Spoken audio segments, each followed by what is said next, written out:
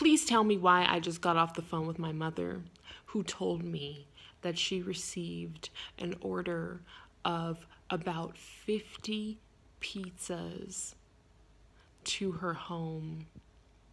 50 pizzas that she did not order.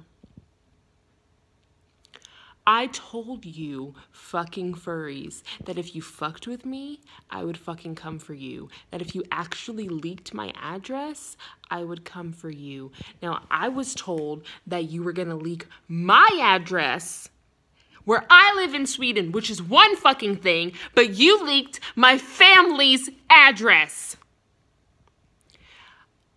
I was already pissed. I said it was on. Now it's fucking on. I am going to hunt you down if I need to. I'm not exactly sure where you're located. If you're in Sweden, I'm gonna pull up to your fucking house and it's gonna go down. Fucking flurry ass, clurry ass, motherfucking war on your front lawn. If you're in America, it's really gonna fucking go down times about 20. I don't know who you think you're fucking with.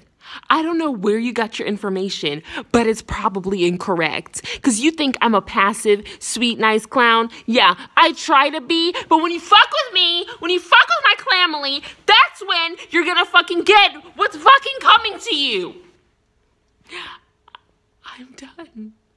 I'm done with this shit. I will take clown oppression from a lot of fucking people. And and I already fucking don't, you know, I'm fighting it. But I will not under any circumstances put up with this shit from a fucking fursuit wearing fucking weirdo.